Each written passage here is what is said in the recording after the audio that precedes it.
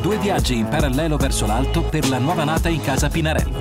Un vero gioiello made in Italy con una forte componente internazionale. Chris Froome, con la nuova F8, ottavo esemplare della fortunata serie Dogma, cercherà di vincere il prossimo Tour de France. Il fortunato risultato di un particolare tavolo di lavoro composto da Pinarello Lab, Team Sky Pro Cycling e Jaguar Motors, dove ognuno ha portato il suo apporto determinante.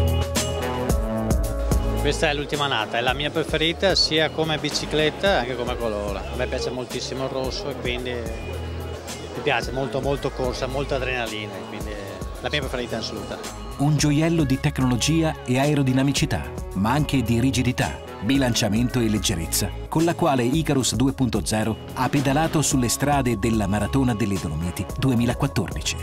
Una bici velocissima, guidabilissima, leggerissima, aerodinamica.